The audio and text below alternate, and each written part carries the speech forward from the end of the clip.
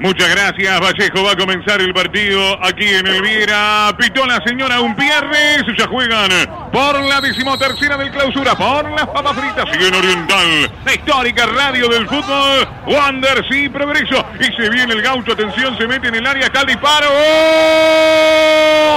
¡Gol! Fernández. ¡Gol!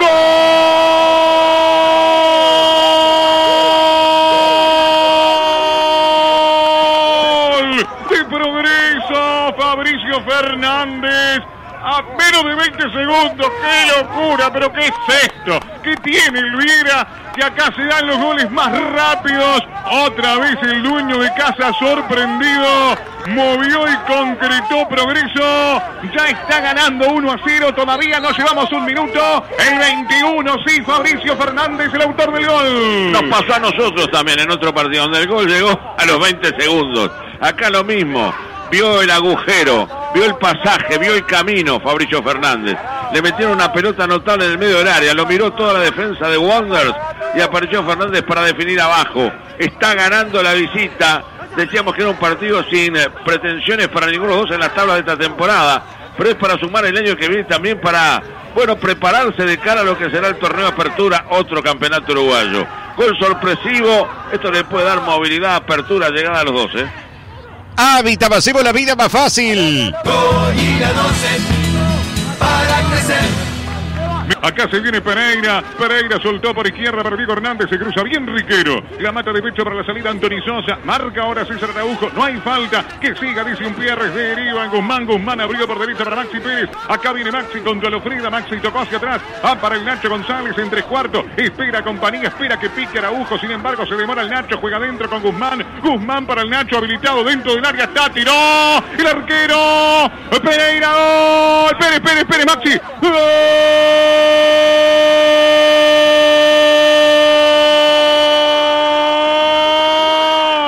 de Wanderers del Bohemio. Una linda jugada esta vez. La hizo, sigue abriendo el libro de la experiencia. El Nacho González puso la magia aquí en el rectángulo del Viera. Qué lindo la hizo, ¿eh? Primero amagó a tocar por derecha con Araujo y se fue adentrando la zona del medio. Un gran pase que toca para Guzmán Pereira y este le devuelve una pelota sensacional. Después deriva adentro, la pelota rebota y Maxi Pérez con la caña de pescar. Fundamental a los 35 minutos del primero. Igual el partido 1 a 1 ahora. Ahora sí es más justo todo esto. Tenía la iniciativa Wander, se los dije siempre. Alguna cosa aislada de progreso de contragolpe. La iniciativa siempre de Wander.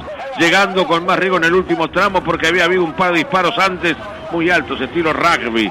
Después Méndez empezó a provocar por abajo eh, callejones para que sus compañeros pudieran aprovechar. Acá Méndez no interviene. Es entre el Nacho González, Pereira, el Nacho, el disparo, el rebote en el arquero venezolano que dio rebote y aparece Maxi arriba del arco para darle la, el empate a Wanderers que lo merecía hace rato. Hábitat, hacemos la vida más fácil. 12 para crecer.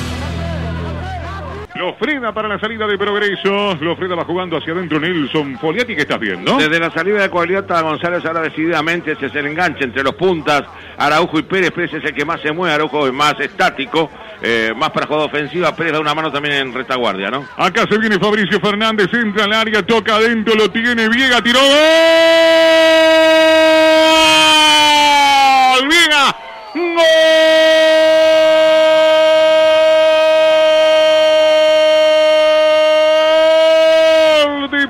a los ocho minutos. Otra vez el artífice Fabricio Fernández, que se vino esta vez por derecha, que pisó la pelota cerca del borde del área, siempre por derecha, casi contra línea de fondo. Amacó el cuerpo, amagó, jugó hacia adentro, con Viega que entraba sobre la media luna y le pegó un disparo realmente fuerte. Abajo, al palo izquierdo del guardameta de Arroa Barrena. Y a los nueve minutos del complemento, otra vez en ventaja la visita, Rodrigo Viega, el autor del gol. Bien, Fabricio Fernández. Una linda jugada ofensiva de progreso, una pelota larga para Fernández, el desborde, la maque de cuerpo para sacarse la marca, la mete rasante por abajo y Viega como venía la mete adentro. No se ven todos los días estos goles porque además Viega le pegó notablemente a la pelota. Al palo izquierdo abajo de Barrabarrena que no tuvo nada que hacer, quietud, lentitud, observó la defensa de Wanderers como Viegas recibía el balón y le pegaba de primera. Bueno, eso le vale esta segunda caída.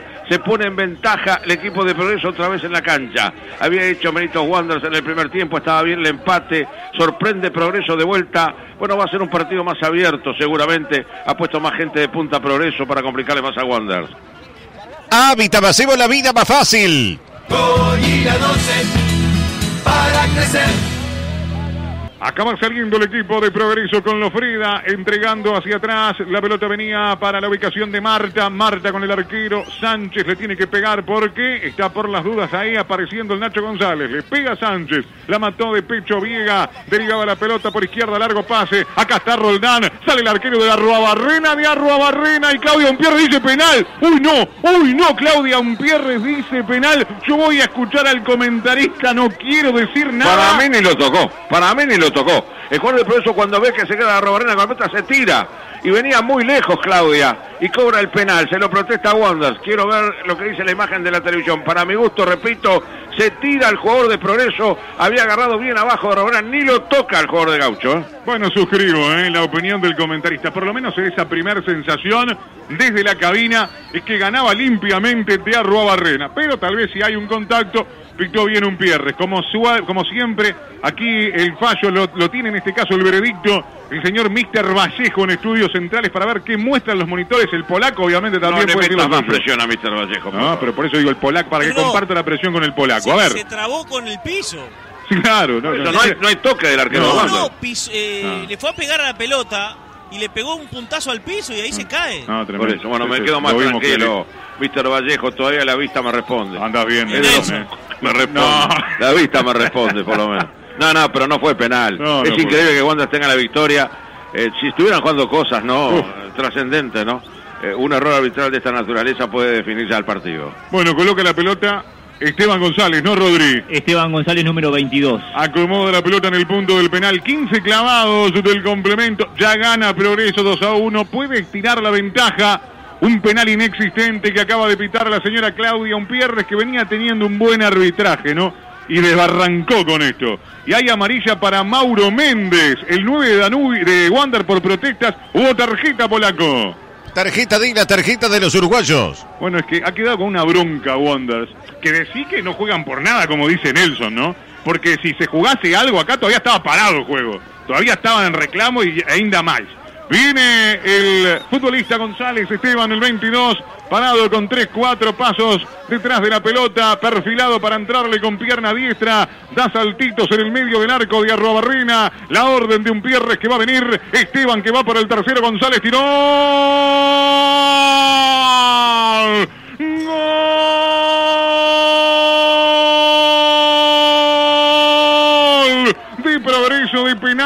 Esteban González, pelota para un lado, palo derecho de Arrobarrena, arquero para el otro, y el tercero de progreso llegó, no fue penal, nada le importó a Esteban González, que convirtió y ahora el gaucho la visita, gana 3 a 1 a los 16 del segundo. Y después de tenerla complicada en el primer tiempo, cuando Wanderers no supo definirlo con el partido 1 a 1, pudo seguir de largo.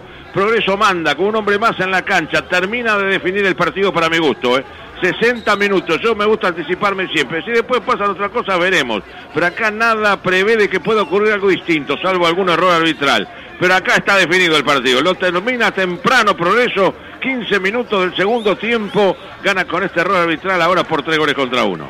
Hábitat Pasivo, la vida más fácil. 12 para crecer.